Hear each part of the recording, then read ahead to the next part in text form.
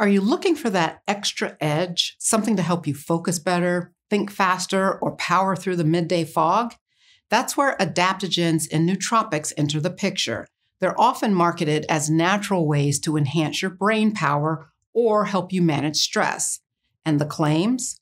They range from sharpen your mind to unlock your full potential. But are these supplements really helping your brain, or are we just buying into the latest biohacking buzz? I'm Dr. Tracey Marks, a psychiatrist, and I make mental health education videos to help you strengthen your mind, fortify your brain, and build resilience. In our last video, we explored how food affects your brain chemistry and when basic nutritional supplements might be helpful. Today, we're venturing into more specialized territory adaptogens and nootropics, substances specifically marketed for cognitive enhancement and stress management. Now, let me just say, I'm not here to dismiss these compounds and I'm not here to oversell them either. Instead, I want to give you a balanced perspective so you can make informed decisions about what might actually be worth your time and money. We'll look at what these substances are, how they work in your brain, which ones have solid evidence behind them, and how to spot marketing hype that isn't backed by science. So, to make sense of what you're hearing in the supplement space, let's start by defining these two categories. Adaptogens are natural substances, usually plant based, that help your body adapt to stress. Think of them as stress modulators. They've been used for centuries in Ayurvedic and traditional Chinese medicine but their modern appeal is in promoting balance in the nervous system, especially under physical, emotional, or environmental strain. Nootropics, on the other hand, are substances that aim to enhance cognitive performance, things like memory, attention, creativity, or motivation. They can be natural or synthetic or somewhere in between. For example, modafinil, brand name Provigil, is a prescription level agent that's a wake promoting stimulant typically prescribed to treat sleep disorders like narcolepsy, but it can also be used off label to improve cognitive functions like memory, focus, and learning. So, this is just to say that even though I'm covering nootropics in the context of supplements, not all nootropics are natural. Now, let's look at how these substances are supposed to work. Most adaptogens influence what's called the HPA axis. That's your hypothalamic pituitary adrenal axis, which is the main system that controls your stress response. When you're under stress, this system releases cortisol, your primary stress hormone. Adaptogens control this response, preventing excessive cortisol production when it's not needed and supporting healthy levels when it is needed. Beyond cortisol regulation, adaptogens can influence neurotransmitter systems, the chemical messengers in your brain that affect mood, focus, and energy. Some adaptogens support dopamine and serotonin function, which is how they affect mood and motivation. They can also promote neuroplasticity, your brain's ability to form new connections and adapt to challenges, which you need for resilience. Nootropics, on the other hand, are more targeted.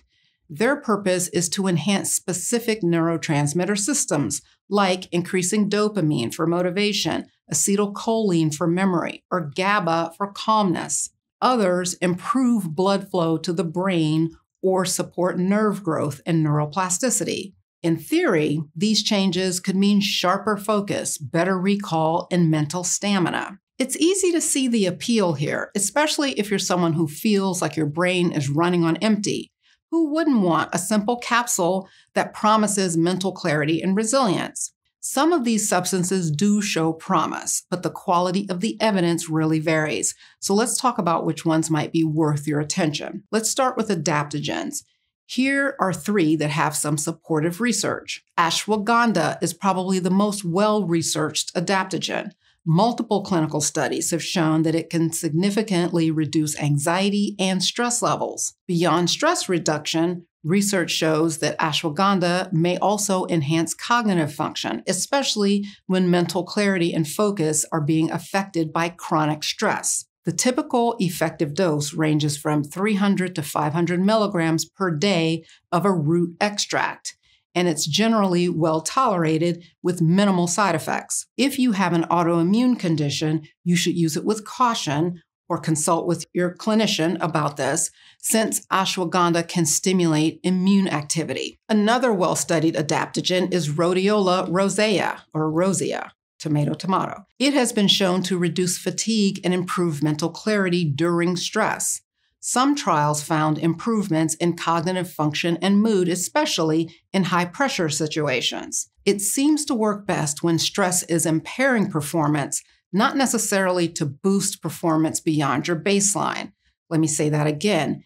It works better if your performance it has taken a downturn because of stress to get you back up to where you were versus taking you to a whole nother level of productivity and performance. Rhodiola is typically taken in doses between 200 and 600 milligrams per day using a standardized extract. And most of the research on stress resilience and mental fatigue falls within this range. But for many people, even lower doses, around 200 to 300 milligrams, are enough to see benefits. Because rhodiola can have a mildly energizing effect, it's best taken earlier in the day to avoid having an impact on your sleep. And then the third adaptogen is Panax ginseng.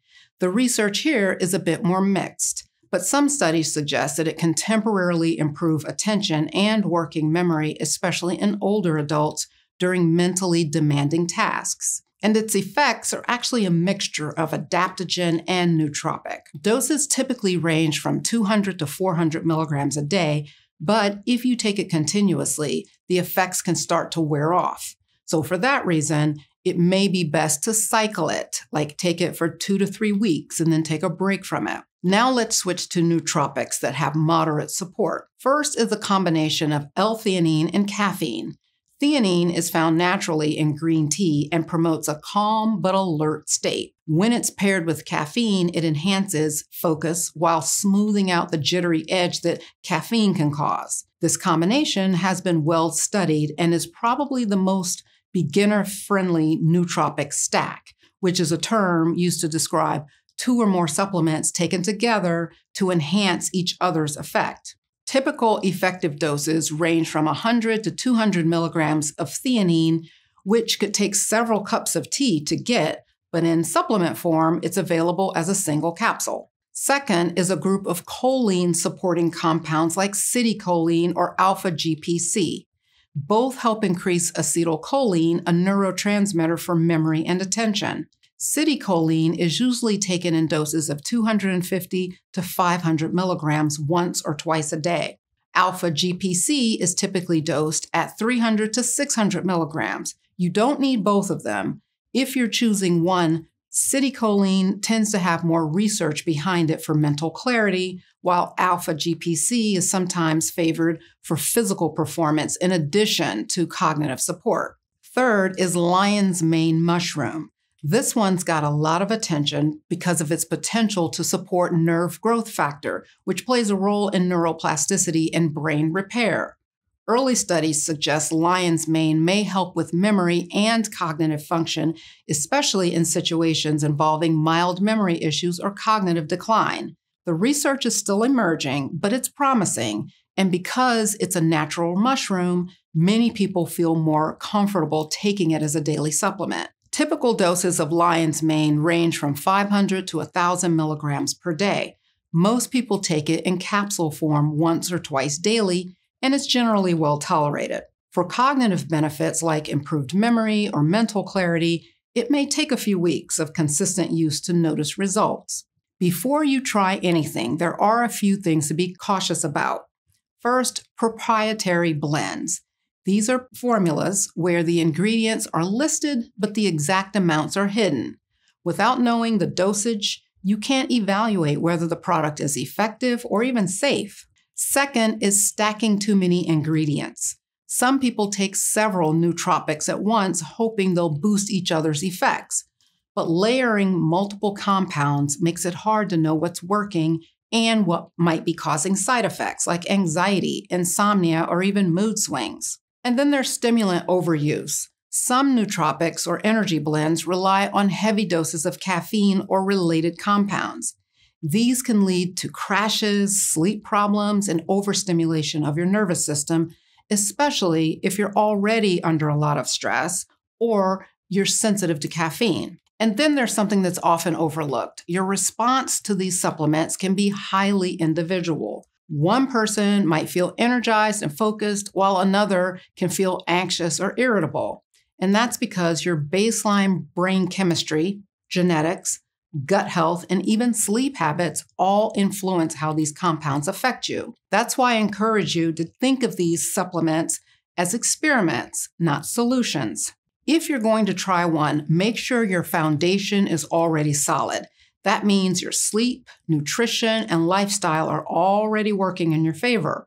Supplements are not substitutes for self care. So, when might it make sense to consider these? If you're dealing with burnout, brain fog, or workday fatigue, and you've already optimized the basics, you might consider trying a supplement with a targeted purpose. For example, if your main issue is sustaining focus during the afternoon, you might try theanine and caffeine together. If your stress is interfering with your sleep and focus, something like ashwagandha might help, but do it thoughtfully. Try one supplement at a time, give it at least a couple of weeks, preferably a month, and track how you feel.